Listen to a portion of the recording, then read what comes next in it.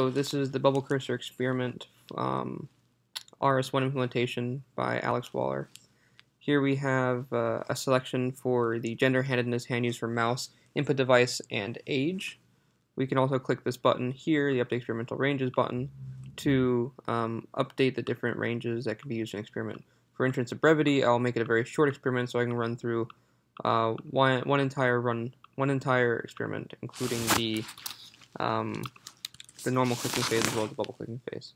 So I can press OK, and uh, I can submit my age, and uh, my input device, my touchpad, and we can submit.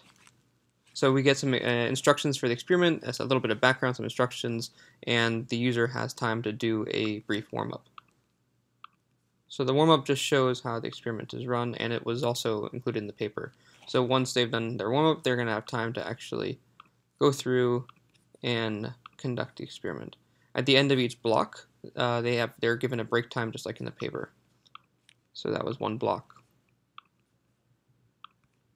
And that was the second block. Now they're given instructions on the control cursor experiment, uh, and they're given time to do a warm-up.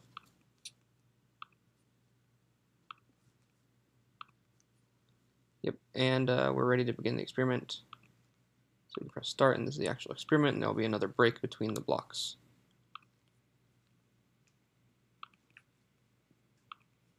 and then we will be all done and the page reloads for another user.